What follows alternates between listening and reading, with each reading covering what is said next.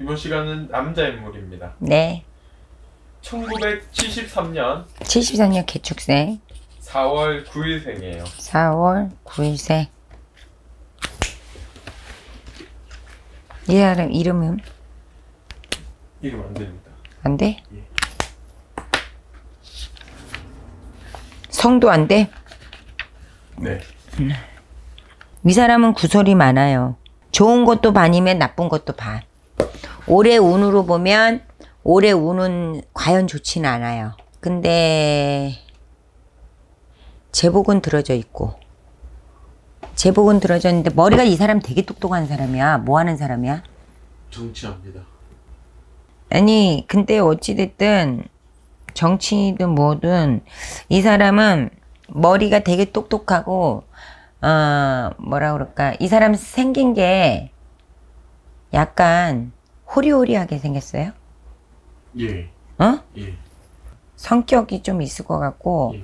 되게 예민하고 어떤 불의를 보면 못 참는 것 같은 그래서 되게 뭐 올바르다 안 올바르다 이거를 논하기 이전에 음 정치판에 있는 사람이면 앞으로 큰 일을 나라 일을 할 수 있는 나라 녹밥을 먹을 수 있고 지금도 먹지만은 더 관직에 크게 올라갈 사람으로 들어와 차세대에 뭐 앞으로 이제 유망주로 말하면 대통령까지는 해먹지 않을까. 진짜요? 응.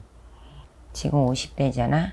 50대니까 쉬운 한 일곱, 60 안쪽으로 일곱 여덟에는 우리 대통령 선거가 언제지? 27년도에 했어요. 27년도 이번 파스 말고 다음 파스 정도는 기대해 보지 않을까? 빠르면 그렇게 보여요. 그리고 어 예리하고 독사 같은 데가 있어요. 그리고 3월생이니까 머리가 비상해. 똑똑해. 응, 그리고 불의를 보면 못 참어. 이 세 가지가 딱 나와. 대통령, 똑똑하다, 어? 어, 그리고 예민하다. 이렇게 나와요. 독사같이 보여. 이 사람. 근데 올해는 구설도 많이 타. 이 사람 죽이려고 하는 사람들도 많아. 어. 이 사람. 근데 이 사람이 되게 누구 말에 휩쓸르고 가벼운 사람이 아니야. 날렵한 행동과 어, 앞에서는 되게 부드러운 척 하지만 이 사람 내근지는 아주 독사 같은 데 있어. 한번 물으면 안 나. 어.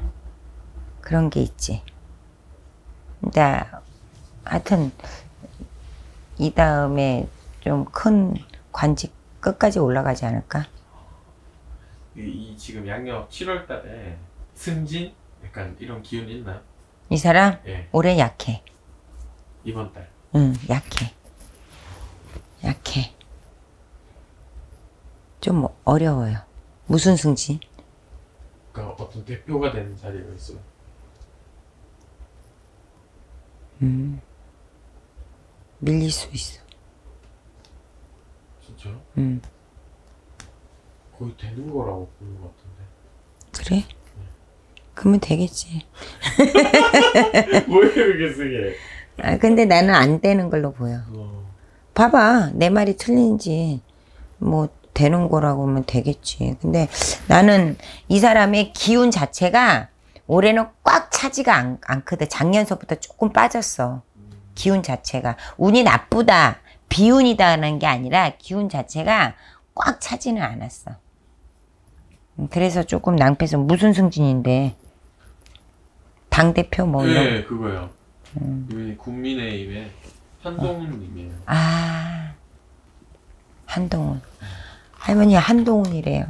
이 사람이 저기지? 국무총리, 뭐, 뭐지? 아전 법무부 음, 장관. 법무부 장관. 장관이래요. 할머니. 점을 잘 찾아야 대표 승진이 될 수 있는지. 승진. 자, 개축생에 양력으로 4월 초하를 했습니다. 불러보세요.